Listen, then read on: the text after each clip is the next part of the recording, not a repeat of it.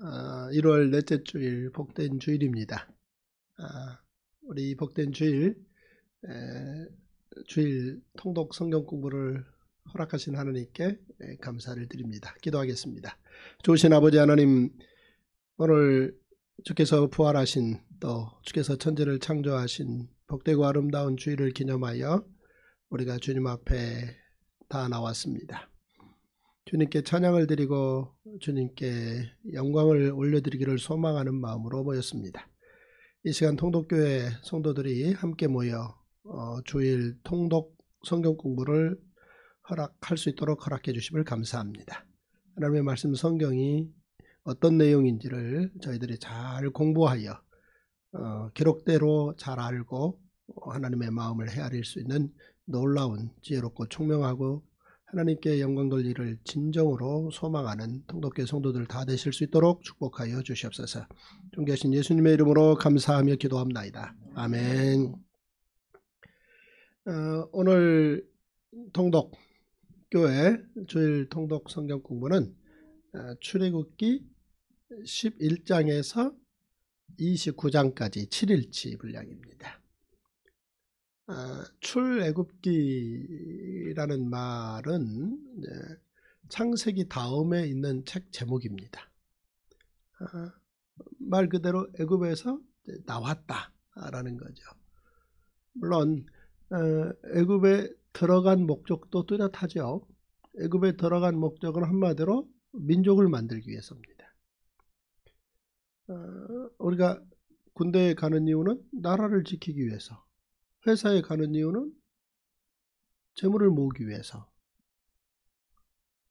어디 놀이터에 가는 이유는 놀기 위해서.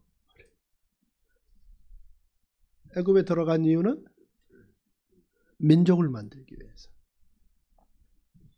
자 그런데 그 애굽에서 나왔다는 거죠. 그 왜 나왔는가 그 이유를 출애굽기에는 잘 설명되어 있다는 겁니다 왜 나왔는가?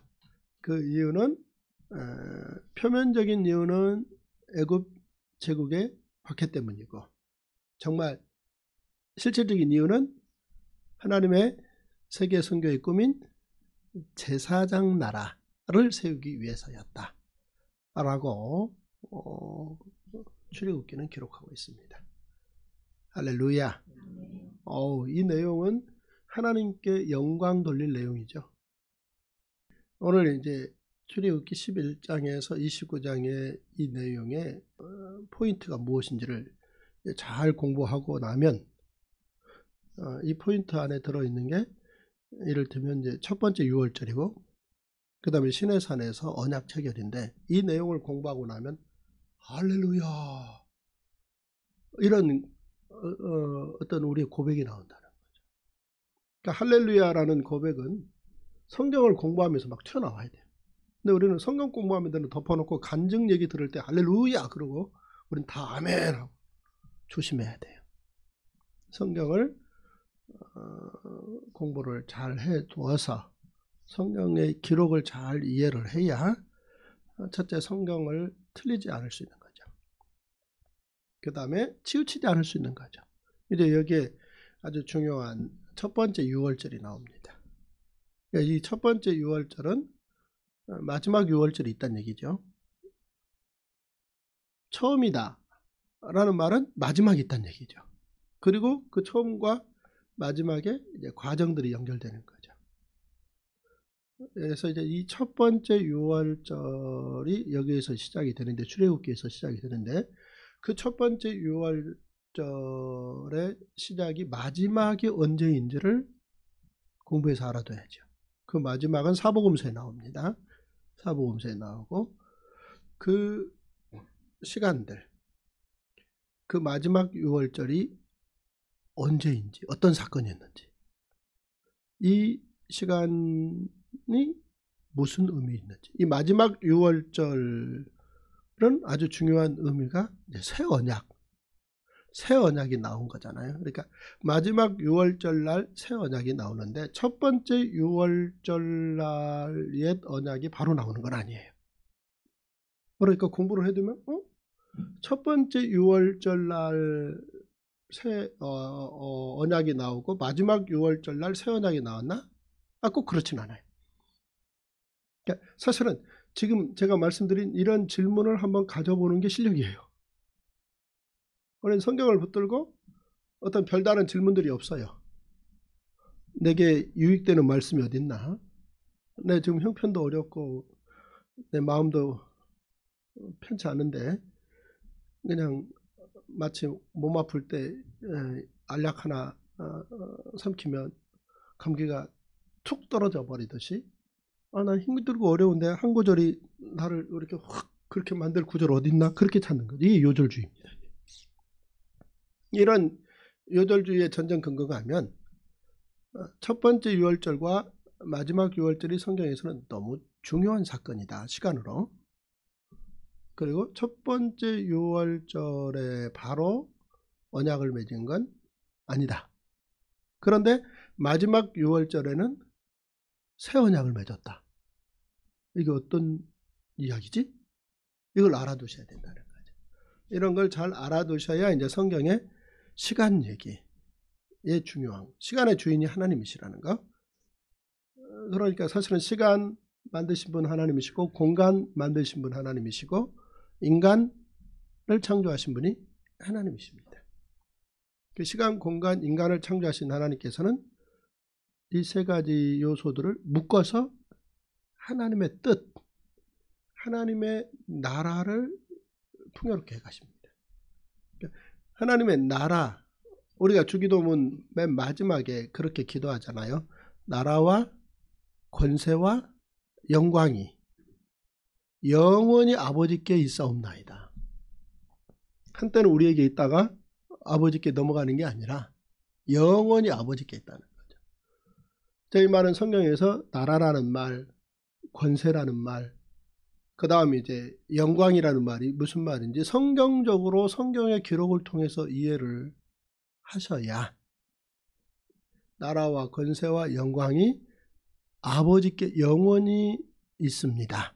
라는 고백을 주일날마다 알고 고백할 수 있는 거죠.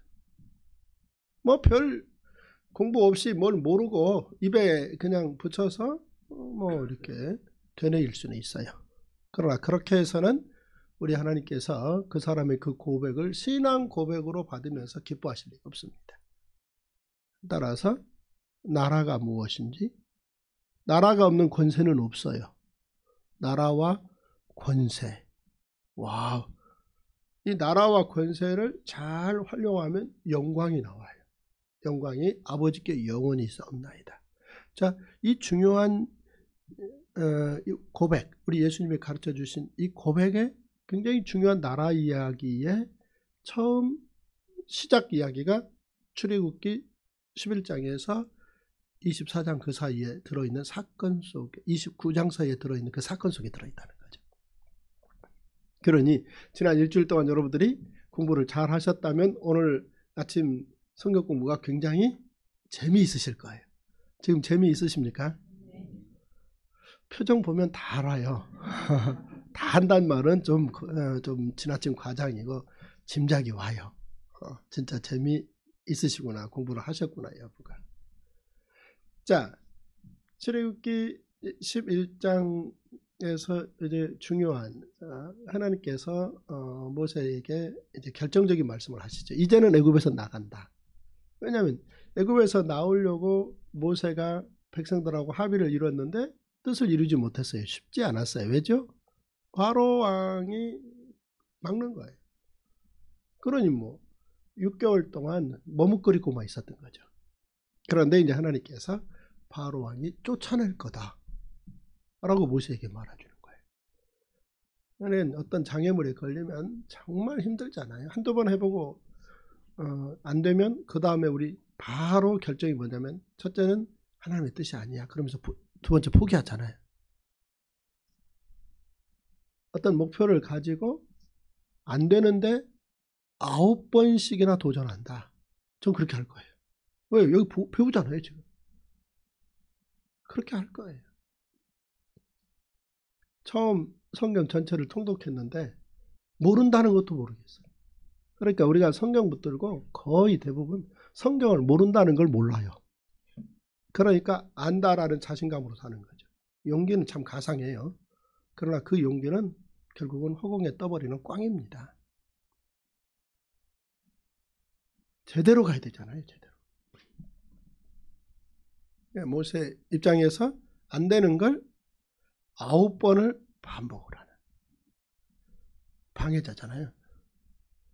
지속적으로 모세 입장에서는 그 바로가 뭐 할 수 있었겠어요? 미울 수 있었겠죠?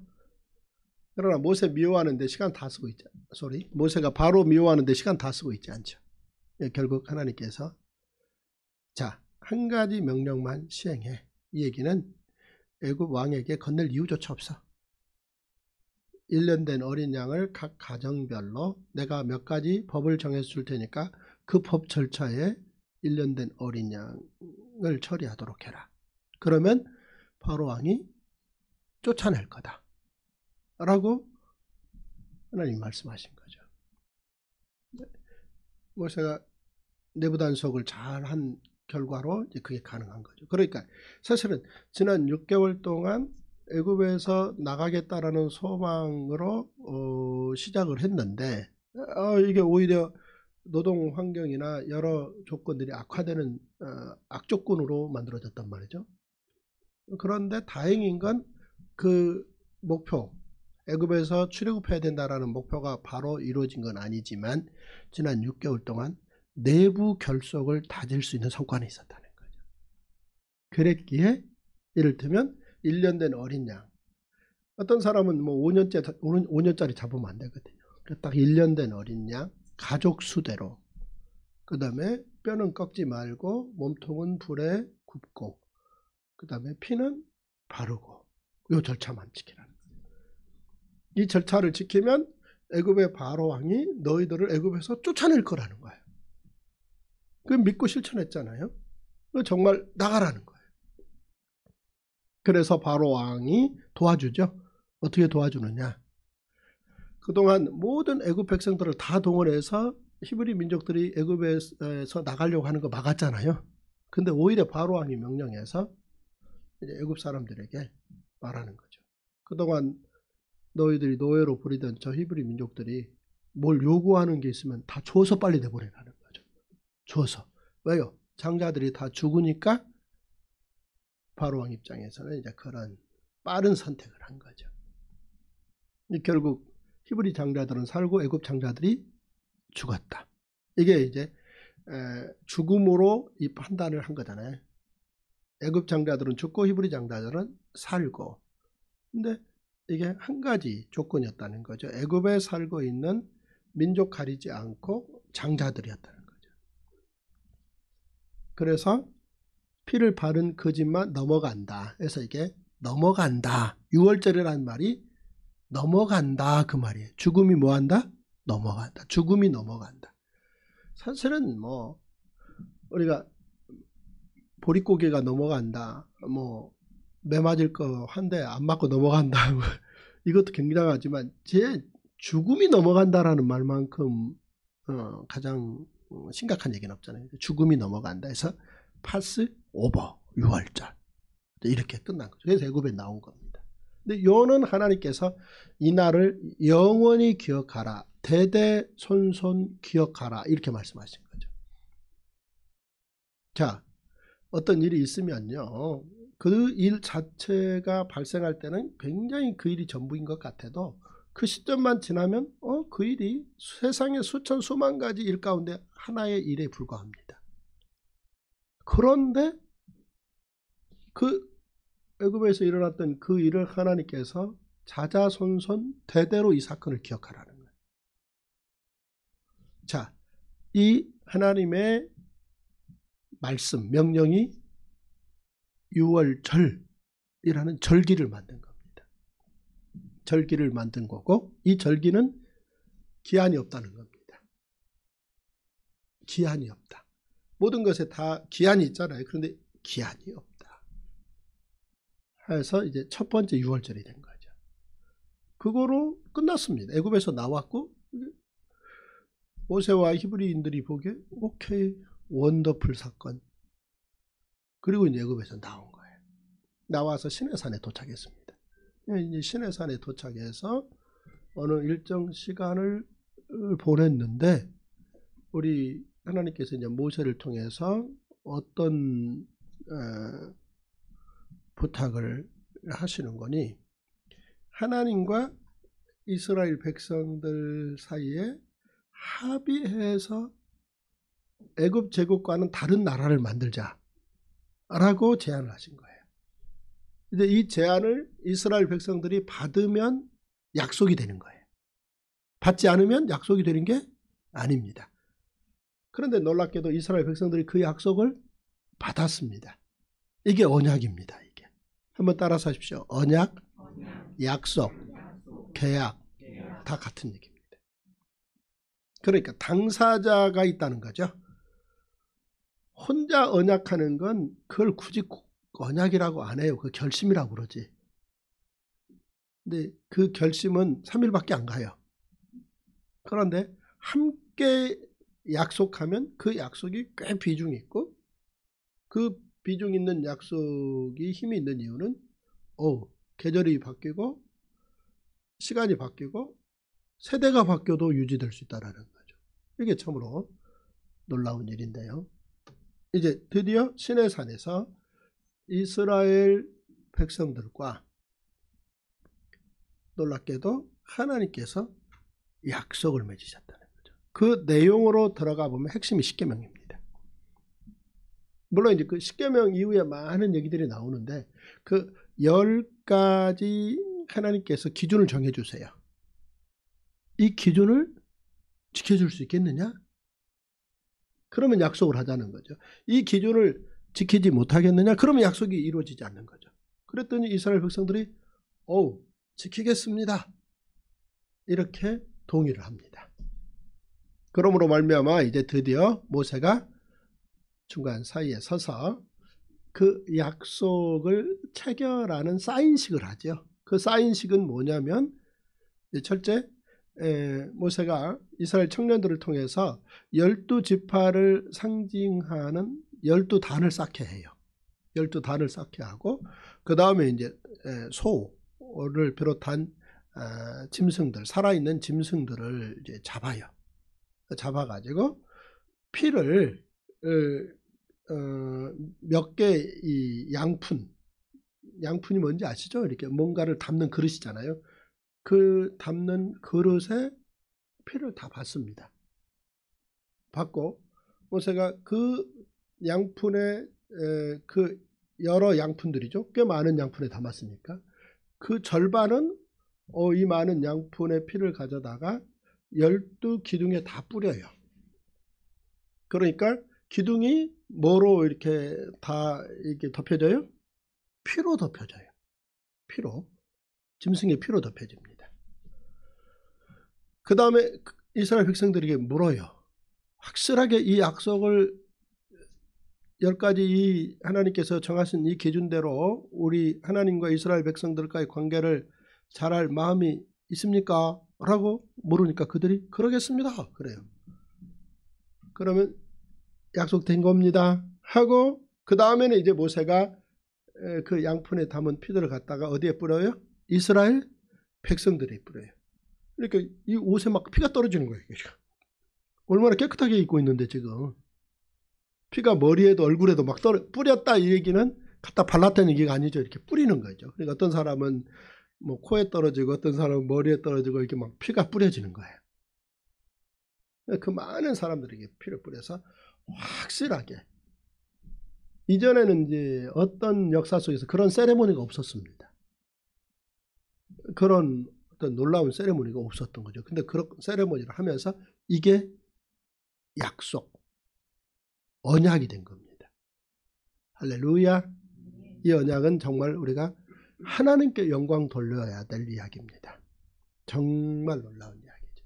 드디어 하나님과 이스라엘 백성들이 제사장 나라를 공동으로 만들었다는 겁니다. 그러니까 이 제사장 나라는 어느 민족이 없으면 하나님 혼자 하실 수 있는 나라도 아니에요. 이 제사장 나라는 하나님 없이 어느 한 민족이 만들겠다고 주장해서 만들어지는 나라도 아니에요. 이 제사장 나라는 온 인류를 창조하신 위대하신 하나님과 하나님이 모든 민족을 복주시기 위해서 선택하신 한 민족과 합의하에 이렇게 만들어지면서 여기에서 언약이 거예요. 언약. 할렐루야. 와. 우리가 살면서 누구와 누구끼리 약속을 하잖아요. 때 살면서요. 어, 제가 안 하면 약속 안 해요. 약속을 하면 지켜야 되는 거잖아요. 그러니 그냥 별 생각 없이 인생을 살고 있는 사람들은 아무 약속이나 하고 남발하지만 그 약속의 무게나 책임감, 약속의 중요성을 이렇게 좀 살면서 깨닫고 나면 그 약속 함부로 할 수 없는 거예요. 근데 놀랍게도 하나님께서 인간들과 약속을 해주셨다. 이건 정말 놀라운 우리 하나님 입장에서는 놀라운 인간을 향한 배려요 사랑이요. 어, 정말 그 약속의 당사자가 된 그들 입장에서는 어, 정말 이렇게 감사할 수 없는 그렇게 영광스러운 장면이었다. 그러니까 이스라엘 백성들이 사실은 하나님과 그 약속을 맺었다는 그 자체가 영광이라는 거죠. 할렐루야. 그래서 이제 드디어 나라도 권세도 영광도 하나님의 것으로 이제 거기서 그 한 민족이 표현하는 그런 놀라운 장면이 신해산 언약이다. 그렇게 보시면 되겠습니다. 따라서 이제 첫 번째 6월절과 신해산 언약과는 약간의 시간 차이가 있었죠. 그런데 이제 우리 하나님께서 모세를 통해서 이미 첫 번째 6월절 때 이날을 그러니까 언약 맺은 이날이 아니라 첫 번째 6월절 날을 대대로 지키라 그랬어요. 네, 이제 지키, 지키게 돼서 계속 지속적으로 대대로 지키라 그랬으니까 이후에 보면은 뭐 히스기야라는 왕이 유명해졌어요. 여러 가지 이유가 있지만 6월절을 지키려고 노력한 걸 평가받아서 역사 속에 그를 유명하다라고 후대 역사가들이 그를 평가했어요. 그리고 이후에 보면 요시아 왕을 꽤 높이 평가했어요. 요시아 왕은 오래 살지 못했어요. 전사했으니까 젊은 날에. 그런데도 불구하고 요시아 하면 그 이름을 기억해요. 어, 이 사람이 상당히 역사 속에 평가를 받는데 그 이유가 6월절을 지키려고 애를 썼다는 거예요. 이후에 보면 우리 예수님의 어린 시절이 나오는데 우리 예수님의 어린 시절의 그 핵심이 뭐냐면 나사렛에서 예루살렘 성전에 있는 곳으로 6월절 지키러 가신 거예요. 우리 예수님이 예루살렘의 성전에 계시는데 가족들이 떠나잖아요. 떠나서 가족들이 뒤늦게 알고 찾아가서 우리 예수님을 만났더니 예수님이 하시는 말씀이 아니 내가 내 아버지 집에 있어야 될 줄 모르시나이까 이렇게 말을 했지만 그 사건이 일어나는 자체는 6월절이라는 거죠. 배경, 환경, 그 사건이 일어나는. 그러니까 사실은 마리아와 요셉이 6월절을 잘 지켰다는 거죠. 첫 번째 6월절은 애굽에서 시작됐잖아요. 그런데 1500년이 지나고 어, 그 6월절을 예루살렘에서 이렇게 지키고 있는. 예, 그리고 예수님이 어렸을 때 6월절을 지키신 이후 이제 시간이 좀 더 지나죠. 지나고 난 다음 우리 예수님이 십자가 지시기 전날 밤 마지막 6월절을 지키신다는 거죠. 십자가 지시기 전날 밤 마지막 6월절을 지킨다. 사실은 우리 예수님이 그렇게 말씀하시잖아요. 내가 이 6월절을 너희들과 함께 먹기를 원하고 원했다. 우리 예수님이 어렸을 때는 그 6월절을 가족들하고 지켰죠. 그런데 이제 공적 사역을 시작하신 상황에서는 우리 예수님이 그 6월절을 제자들하고 지켜온 거예요. 전년도에도 지지난 전년도에도. 근데 이제 이번 6월절을 그렇게 원하셨다는 거예요. 왜냐하면 이번 6월절은 색달라지는 거거든요. 달라지는 거예요. 어떻게 달라지느냐? 이제 드디어 짐승의 살과 피가 아닌 우리 예수님이 하나님의 아들 예수님이 하나님의 어린 양이 되시는 거예요. 그래서 당신의 살과 피를 먹고 마시라고 떡과 포도주를 건네는 거예요. 그리고 여기서 새 언약을 결정하는 거예요. 할렐루야. 네. 그러니까 마지막 6월절 날 새 언약이 체결되는 거예요. 이해되셨습니까? 그러니까 첫 번째 6월절 날 언약이 만들어진 건 아니에요. 결과적으로 옛 언약이 만들어진 건 아니에요. 첫 번째 6월절 있고 얼마 있다가 옛 언약을 체결했죠. 그런데 이게 1500년이 지나고 마지막 6월절 날 새 언약을 체결했고 이날 성찬식으로 바꾸셨다. 이 말은 이제 하나님의 어린 양이라는 말이고 우리 예수님의 하나님의 어린 양으로 그 다음에 대제사장으로 그 다음에 왕 같은 왕 선지자로 십자가 단번 제사를 드리시죠. 그러므로 말미암아 드디어 새 언약이 그날 완성돼요. 완성되고 3일 후에 우리 예수님이 주일날 부활하세요. 이 3일 후에 주일날 부활하신 날은 우리 하나님께서 천지를 창조하신 날이죠. 그래서 이렇게 그날이 이제 주일날로 바뀌는 거죠. 할렐루야. 하나님이 행하신 정말 영광스러운 일이잖아요. 이 일로 말미암아 이제 우리 예수님이 어린 양으로 세례 요한이 3년 전에 어, 우리 예수님이 십자가 지시기 3년 전에 우리 예수님을 하나님의 어린 양이라고 소개했잖아요.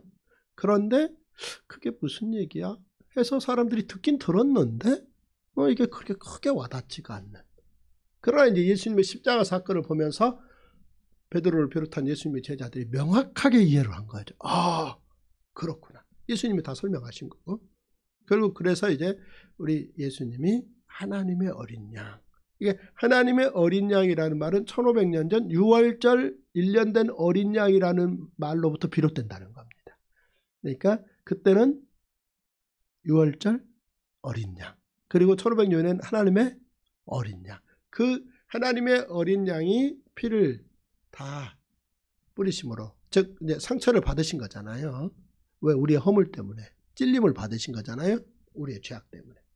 그러므로 말미암아 드디어 이제 마지막 6월절 날 새 언약이 체결돼서 성찬식이 시작되면서 6월절은 성찬식으로 수렴돼서 계속 지속되는 그리고 하나님 나라가 완성되는 이런 놀라운 사역을 감당한 우리 주님 예수 그리스도가 이제 하나님의 어린 양, 즉 어린 양의 칭호를 얻게 되는 거죠. 여기서 잘 기억을 하셔야 계시록에 보면 하나님과 어린 양의 보좌 를 이제 설교 때 여러분들에게 말씀을 좀 드릴 터인데요. 이 말이 왜 계시록에 우리 예수님이 어린 양이라고 자꾸 소개되지? 이 말을 이해할 수 있다는 거죠. 자, 이 모든 큰 이야기가 오늘 출애굽기 11장에서 29장까지 7일치 분량을 여러분 공부하셨죠? 출발점이 여기라는 거 잘 기억하세요. 그래서 이렇게 성경을 잘 공부해 두시면 어, 성경 기록 내용들이 결국은 아, 틀리지 말아야 되겠다. 그 다음 치우치지 말아야 되겠다. 그 다음에 선을 넘지 말아야 되겠다. 잘 공부하면 나라와 권세와 영광이 하나님 아버지께 있다라는 걸 늘 성경을 공부하면서 고백할 수 있겠다. 라는 놀라운 사실을 우리가 깨닫게 됩니다. 그래서 이 말씀이 우리를 자유케 하는 거예요. 무슨 말인지 아셨죠? 너무 자기 체험 혹은 꿈, 누군가의 체험, 누군가의 꿈에 의존하지 말라는 거죠. 거기에 의존하면 이 기록이 약화된다는 거예요. 이 기록이 자꾸 약화되면 어, 느 순간에 가서 어느 한 부분을 가지고 너무 많은 얘기를 펼쳐가다 보면은 선을 넘습니다. 그래서 시간 계산도 이렇게 크게 하기보다는 언제 창조하셨는가 막 파고들고 그러다가 치우치는 거죠. 그 다음에 또 절기도 우리 예수님이 이렇게 수렴하셔서 끝내셨잖아요. 그런데 그 절기를 아직도 지켜야 된다고 치우치고 있고 사람들은 거기에 막 빠져들어가는 거예요. 성경에 없는 얘기로 마지막에 가요, 자기들. 그러니까 성경을 공부하는데 마지막에 그 사람들의 특징이 뭐냐면 성경에 없는 이야기로 마무리를 해요. 참 놀라워요. 어느 쪽으로 놀라워요? 한심한 쪽으로 놀라워요. 이 책을 잘 기록대로 공부해서 이 말씀으로 자유하는 인생들을 사십시다. 나라와 권세와 영광이 하나님께 영원히 싸움나이다 라는 고백은 제사장 나라와 하나님 나라를 놓아버리고는 있을 수 없다라는 걸 기억하시면서 오늘 또 복된 주일로 우리가 하나님께 영광 돌리는 통독교 성도님들 되시기를 간절히 소망합니다. 기도하겠습니다. 좋으신 아버지 하나님 오늘 또 하나님의 말씀 성경 출애굽기 이야기를 바탕으로 공부하여 사복음서와 계시록 이야기가 어떻게 연결되어 있는지 공부할 수 있도록 동기를 부여해 주심을 감사합니다. 늘 소리내서 읽고 1년에 10번 읽고 그리고 매일치를 다섯 가지 포인트로 어, 통독성경을 잘 공부함으로 말미암아 성경의 이야기가 얼마나 우리 하나님께서 우리를 향하신 따뜻하고 아름다운 구원의 이야기인지 그리고 그 사실을 알고 하나님께 영광 돌릴 수 있는 놀라운 상상을 초월한 하나님의 말씀인지를 고백하고 또 고백해가는 통독교 성도들 다 될 수 있도록 축복하여 주시옵소서. 오늘 복된 주일 주님 앞에 아름다운 예배, 거룩한 예배, 영광의 예배를 올려드릴 수 있는 놀라운 성도들 다 될 수 있도록 축복하여 주시옵소서. 예수님의 이름으로 감사하며 기도하옵나이다. 아멘. 여러분 오늘 또 수고하셨어요. 감사하죠? 재미있으셨어요? 네, 하나님께 영광의 박수 하겠습니다.